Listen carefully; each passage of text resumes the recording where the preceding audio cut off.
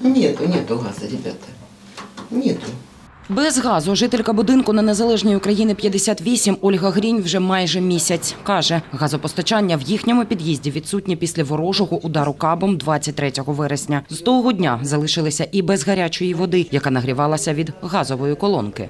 Он чайники нагрела, вылила в ведро, разбавила холодное, голову помыла. Второй, ч- второй чайник ос- обмылась чуть-чуть и все. Это, это, еще есть мультиварка. Ну, то, что мне сын подарил когда-то, так оно и все и пригодилось. Ольга згадує, після ворожого обстрілу фахівці оглядали мережі і незабаром відновили газопостачання в будинку, але їхній під'їзд оминули. Комунальники пояснили, що запустити газ не можуть через недоступ до однієї з квартир, говорить Ольга. А у нас э, в девятой квартире проживает такой. У него мама умерла, и он переехал в ее квартиру. И никто не может до него достучаться. И вот не- они не могут попасть в эти квартиры, а мы не можем дождаться газа. Пока они не проверят, Ольга каже, неодноразово зверталася до Запоріжгазу, втім реакції так і не дочекалася. Сусіди жінки також спілкуються з представниками компанії, аби їм відновили газопостачання.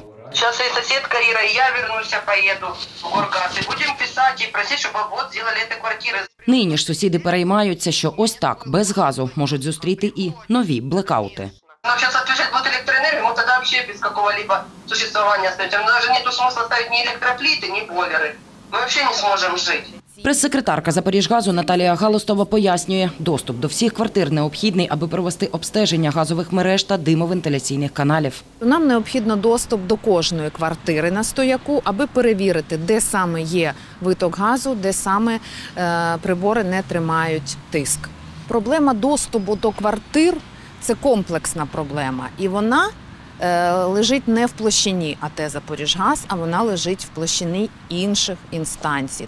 Сергій Білоус, виконувач обов'язків директора компанії «Запоріжремсервіс», яка опікується будинком, телефоном розповів Суспільному, що розшук власника житла та спроби вийти з ним на зв'язок тривають. Та Наталія Галостова каже, газ можуть повернути і в обхід закритої оселі.